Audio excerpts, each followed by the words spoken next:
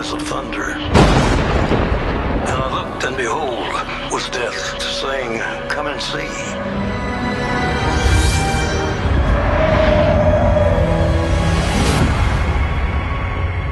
And I saw, and hell followed me.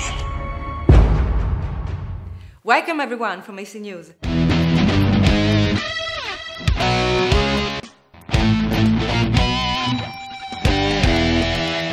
Let's see today's trailer and cinema news is coming up. You are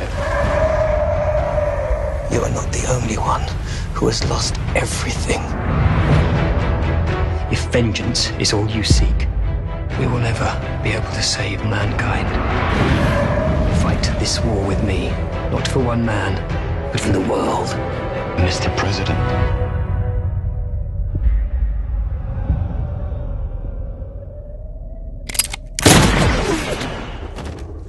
Hollywood is more and more interested in classic and cult novels.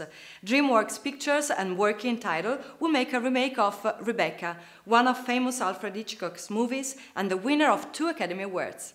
For now, the production would have uh, found only the screenwriter, Stephen Knight, who has already worked on Eastern Promises and talked about The Lost Symbol by Dan Brown, project which is still rather unsure to be carried out. Like the original, this remake is also based on the novel by Daphne du Maurier.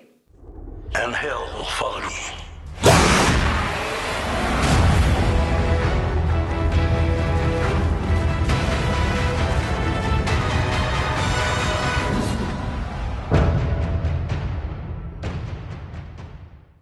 Channing Tatum, warrior in The Eagle, special agent in Knockout, police officer in Son of No One, and agent on a mission in 21 Jump Street, has still time for a romantic comedy, The Vow, a drama directed by Michael Sucsy.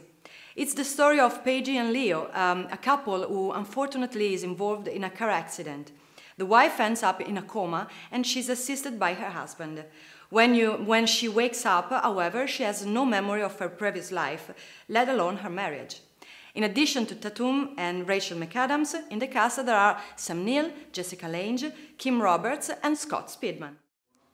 That's all for today. Subscribe to our channel and leave us a comment with any suggestions and your opinion on the movie presented. Bye.